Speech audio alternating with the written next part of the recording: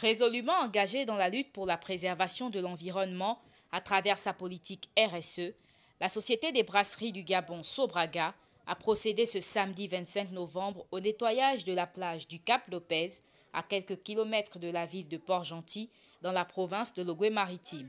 ce matin 25 novembre, nous nous sommes retrouvés du côté du Cap Lopez pour une activité de nettoyage de plage en partenariat avec l'agence Agen, qui est Avenir du Gabon pour l'environnement, à qui nous avons fait une dotation de buggy et puis de. Ce buggy servira à toutes les activités de nettoyage de plage et bien sûr pouvoir entretenir la ville de Port-Gentil. Après Libreville, il était temps pour la Sobraga de poursuivre cette activité dans les sites intérieurs de l'entreprise.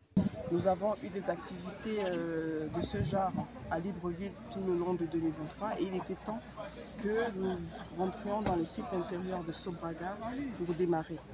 On a donc commencé avec le site Port-Gentil et c'est avec une bonne satisfaction que nous avons pu réunir tous les employés de Sobraga Port-Gentil et faire ressortir l'esprit d'équipe qui est une de nos valeurs prioritaires. Et pour avoir un plus grand impact dans cette opération de nettoyage des plages de la capitale économique, Sobraga envisage s'associer à d'autres entreprises. La prochaine étape, après ce démarrage avec succès des activités RSE à Port-Gentil, c'est de se regrouper avec les autres entreprises de la place, sinon de la ville, pour qu'on puisse avoir un impact encore plus grand. Ici, ce matin, on a pu euh, avoir avec nous la brigade sud de la DGPN, on a pu avoir avec nous l'association Cheval Blanc et bien sûr Agen qui est notre partenaire dans le cadre de l'économie circulaire.